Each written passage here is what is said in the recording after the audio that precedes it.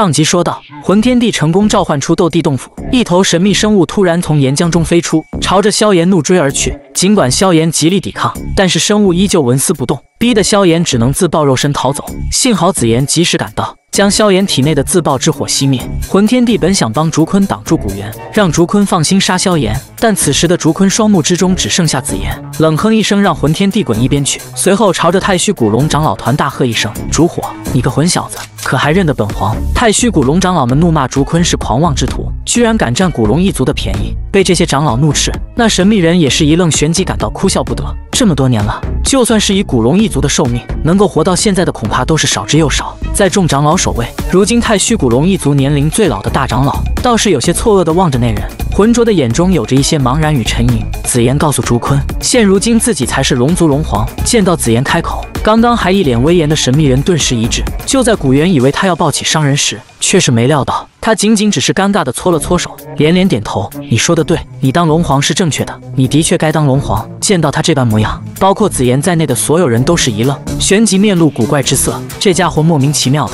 紫妍看事情还有缓和的余地，就希望竹坤不要插手，双方大战。竹坤自然是全部答应，随后说紫妍与母亲长得真像。听得此话，紫妍脸颊顿时一变，无法置信地望着面前的男子。而当他的目光看清楚后者的那对金色双瞳时，心中深处却是升起了一种奇异的感觉。这种奇异的感觉让紫妍娇躯轻微地颤抖了起来。她银牙轻咬着红唇，突然伸出玉手，一把抓住面前之人的手掌，双手接触，璀璨的金光从两人体内涌出，最后在两人手掌交汇处，完美的融合在了一起。一种极端恐怖的威压蔓延而开。怔怔地望着那完美交汇的金光，紫妍眼光剧烈地波荡了起来。瞬息后，她突然触电般的抽回玉手，美眸盯着面前一脸柔和的男子，眼神却是变得冰冷了许多。萧炎见到这一幕，从那神秘人的身上，他感受到了与紫妍完全相同的血脉之力，两人之间必然有着血缘关系，而且这种关系很有可能是父女。这神秘人便是那失踪了数千年时间的太虚古龙一族的老龙皇。望着紫妍突然间冰冷下来的脸色，紫金头发的男子竟然是有点无措。他显然对于这种情况很没有经验，当下只能不断的搓着手，纳纳的看着紫妍，完全不知道该如何开口。紫发女子倔强的站在面前，说自己无爹无娘，是个孤儿。在说着话时，眼中却是有点不争气的，有着泪珠在翻腾。竹坤立刻道歉，并将自己被驼舍古地设计的事情说了出来。只要紫妍不哭，让他做什么都可以。周围的人同样是鸦雀无声，显然是不明白这究竟是上演的哪一出。至于古龙一族的长老们，则是完全呆滞了下来。一个让他们心神颤抖的念头涌上心中。紫妍盯着面前搓着手、有些憨厚的中年男子，突然伸出玉指指向远处的魂天地，声音中带着一点鼻音：“那把他杀了，行不行？”闻言，中年男子先是一怔，旋即双眼之中陡然涌现凶厉之色。此时此刻。那一直脑子浆糊的烛火长老，此刻终于是清醒了过来，而他也终于是从遥远的记忆之中搜寻出了那一张与面前的人相仿的脸庞。当下身体激动得不断的哆嗦，甚至都有些老泪纵横了起来。其他的古龙一族的长老面面相觑着，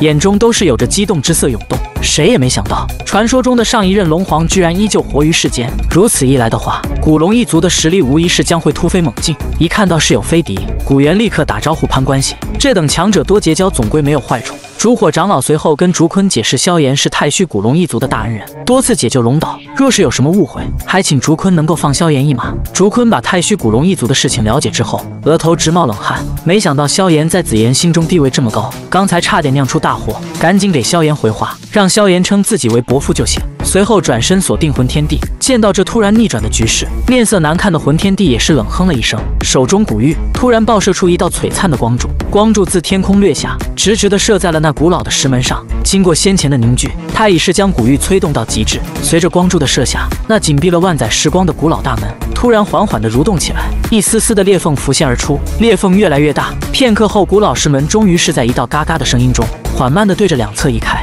在古老石门开启的刹那，一股源自远古般的古老波动猛然自巨门之后闪掠而出。在这等波动下，双方大军皆是如遭重击，直接是被震乱阵型。一些实力不济者更是被震退到了万丈之外。古元的目光死死地盯着那缓缓开启的古老巨门，手心中满是汗水。竹坤也是有些失神地望着这一幕。他被困在那片空间中，不知道想了多少办法打开洞府，但最后却都是毫无收获。时至今日，他也总算是见到了这一幕。竹坤向古元介绍这斗地洞府之内的宝物，里面有一枚地品初丹，吞下之后就能晋级斗帝。竹坤让古元做好准备，等下第一时间冲入洞中抢走地品初丹。二人联手一定要将魂天帝击杀。萧炎看着陷入纠结的紫妍，开导他：竹坤也不是故意不管你，我去过那个空间，他一个人在那里关押了数千年，也挺不容易的。紫妍默默的点了点头，也不说话。萧炎摊了摊手，也不好再多说什么。这些事还是得他自己想开。萧炎与紫妍说话间，那巨大的古老石门之中传出的波动也是越来越凶猛。在波动传出的时候，那巨门的缝隙也是越来越大，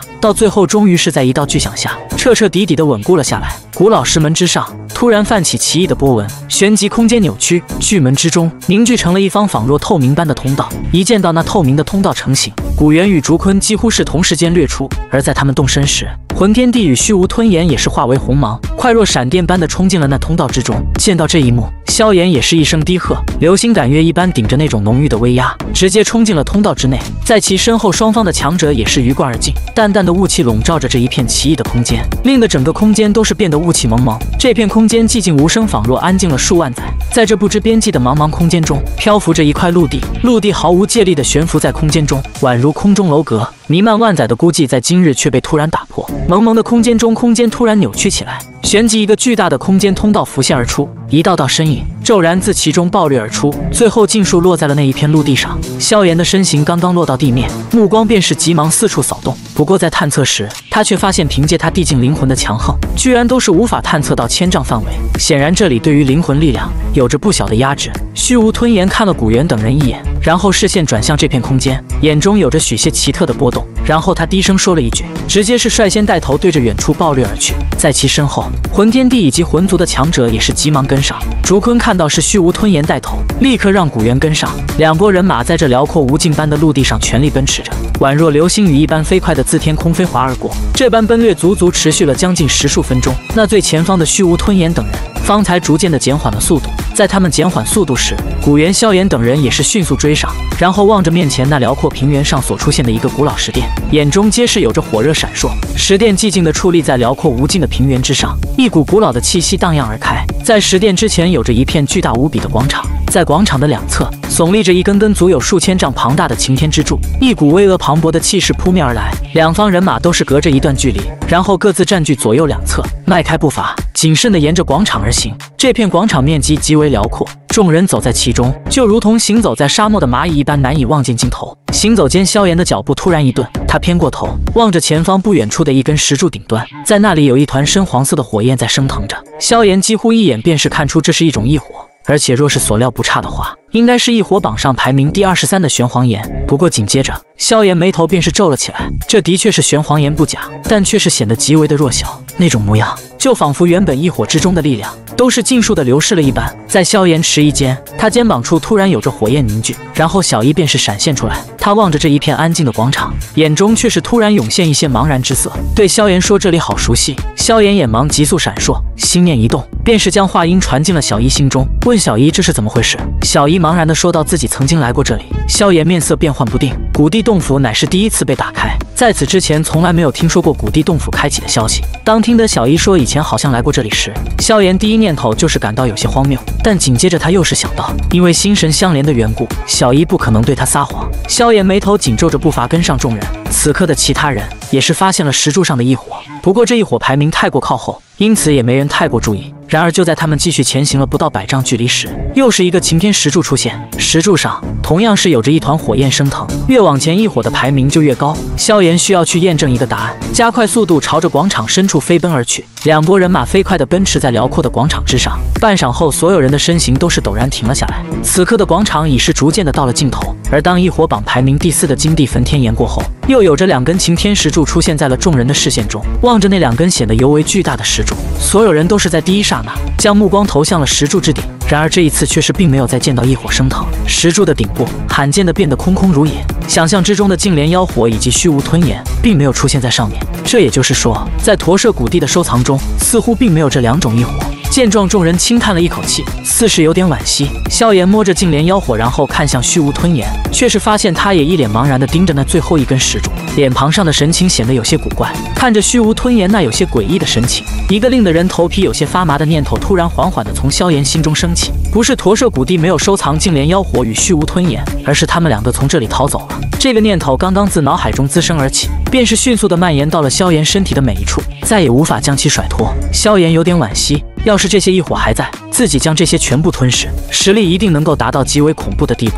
魂天帝也是将目光从石柱上收回，望向一旁的虚无吞炎，低声：“地品除丹呢？”虚无吞炎偏过头，目光望着广场的尽头，那里的石殿此刻正处于浓郁的雾气之中，令人无法看清其中景观。虚无吞炎嘴巴一张。一股吸力暴涌而出，直接是将那弥漫的雾气尽数吞噬进体内。而随着雾气的散去，巨大的阴影突然将广场所笼罩。众人急忙抬头，却是惊骇的见到一座足有万丈之高的石像，竟然便是这般突兀的出现在了他们的眼球之中。石像是一老者模样，那容貌萧炎等人已并不陌生，正是古地洞府的主人，那位传说中的驼舍古地石像矗立在天地之间，散发着一种驾临天地般的至强气息。在那等气息下，就算是萧炎等人都是如遭泰山压顶。在石像的周围。飞舞着众多的光团，远远看去无比的绚丽。数以百计的天阶功法与斗技，这等宝藏，就算在场的都并非常人，都是不由得加重了一些呼吸。天阶功法与斗技，就算是在古族与魂族之中，都算得上是颇为稀少。然而在这里，却如同白菜一般随意的漂浮。